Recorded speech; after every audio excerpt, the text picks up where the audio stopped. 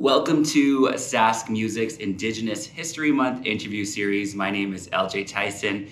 and I'm honored to be joined today by Marentin Fehr. Marentin, how are you? I'm great. How are you? So good. Thanks for joining us here today. Yeah, it's my pleasure, really. We're here in uh, Saskatoon. We're actually in the Sask Music office. Very nice space. Once again, thank you so much to Sask Music for putting on this interview series. Marentin, to jump right into things, but also not to jump right into things. How have you been? I've been good. Yeah, I've been good. I've kind of fallen off the grid a little bit this past uh, past year or so. All have. Yeah, but it's been it's been really good. I've I've been brewing up some projects and uh, working on some new stuff. So, yeah, it's been really good. It's been great. Awesome. And you have this new cool project going on called the Mystik Collective. Do you want to tell us a little bit about that? Yeah, so it's a it's a it's a kind of organization or group that we've started. We we're not sure quite.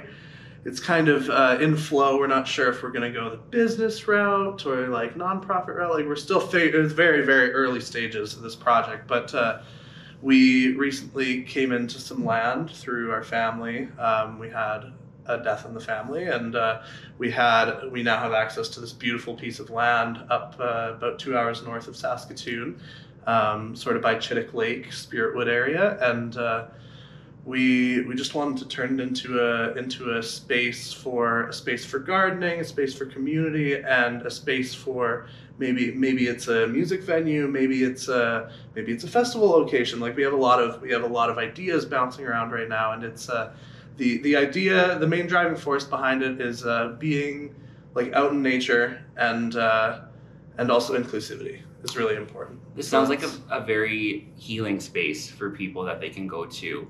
What is the uh, not the end goal? Because I know you want this to be an ongoing thing, but what's your major goal for this? Yeah, so um, I would say short term. Um, we we want to have it open to the public. We want to be we want people to be able to come see us anytime. You know, stop by, check out the check out the space, and uh, we've got a we've got a beautiful garden out there now, and it's only going to get prettier as as the uh, months go by.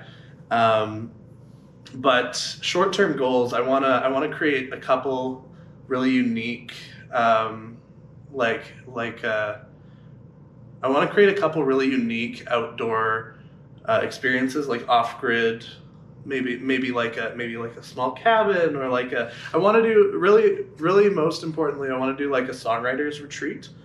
Like a, a, picture like a log cabin in the bush somewhere and you have to you uh, you park your car um, and then you have to hike in and then there's this cabin in the woods and you can uh, write songs out there and uh, yeah it's, it's amazing. It sounds amazing. Uh, long term I want to have a fully uh, fully functional off-grid recording studio out there is uh, is my goal for this is uh, to have a place where an artist can come and stay for an extended period of time um, like up to you know two weeks or whatever and they can come and use this recording studio and uh, I think that that's like long term where we where we want to where I want to be with that anyways um, all of us have different goals with yeah. this with this thing but mine is definitely uh, music based. Yeah. We should talk about your music production because you're also a music producer. I mean, you've um, produced a lot of your own projects. What would you like to do with that in the future? You want to keep producing stuff? Absolutely, I do. Um, I've, I've been uh, focusing my efforts on this new project lately, but uh, I do have some things brewing in the background, some ideas generating, and some uh, some new stuff in the works. But uh, it's it's not a fully fledged idea yet, so I'm not uh, not ready to share too much about it. But, for uh, sure, we'll keep it yeah. under lock and key. you can tell me off camera. Yeah, for sure. So, what is coming next for like for your personal music? I know there's the Mystik Collective that you're very busy right now, but an artist is always an artist at heart. Absolutely. So, what do you want to do next? Um, well, once I'm once I'm at once I'm at a place with Mystik Collective where I feel like it can handle itself, you know, like yeah. uh, like once once it's at a place where we're happy with, I definitely I definitely want to be putting out music again and uh, and touring. And I never really had the chance to tour because I released my music and then COVID hit. Like you know, it was like maybe a year in there where I did some shows and then I wasn't able to do any for a while. And uh, it would be really cool to get back into it. Um, I don't have any any releases scheduled yet, but uh, they'll be coming. Awesome. If you had to pick another Saskatchewan artist, an Indigenous artist here in Saskatchewan, who are you recommending to our viewers? Mm, Hard question. besides you, Yeah. Uh, Don't say me. um, no, uh, longtime friend and mentor of mine, uh, the North Sound. Check them out. Amazing people, amazing music.